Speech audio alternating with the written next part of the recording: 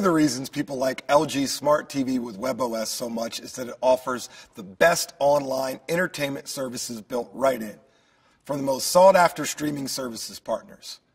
We start with Netflix, the world's leading streaming internet video subscription service, with a deep library of blockbuster movies, riveting documentaries, and popular TV series, including acclaimed Netflix original series, all for a low monthly fee. Hulu Plus specializes in the latest hit TV shows, current seasons for major networks in addition to past seasons, plus a growing lineup of movies, including titles from the celebrated Criterion Collection, also for a low monthly subscription fee. Amazon Instant Video, on the other hand, offers TV shows and films for individual rental and purchase, a huge selection including made for Amazon originals.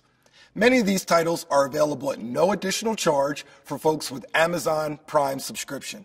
And of course, there's YouTube, the most popular video sharing destination, with new videos being added all the time, all for free. Dive into any of these streaming services by clicking on one from the launcher.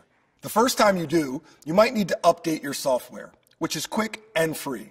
And you might need to sign up or add your LG Smart TV with WebOS to your current account. On-screen instructions will guide you. So as you can see, if you're looking for the best in premium video streaming, LG Smart TV with WebOS has you covered.